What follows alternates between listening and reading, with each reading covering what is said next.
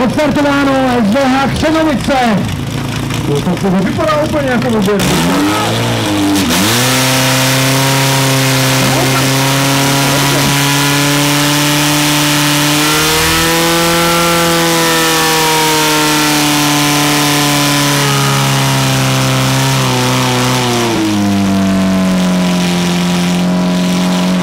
Vypadá zase s tím nešťastným kon...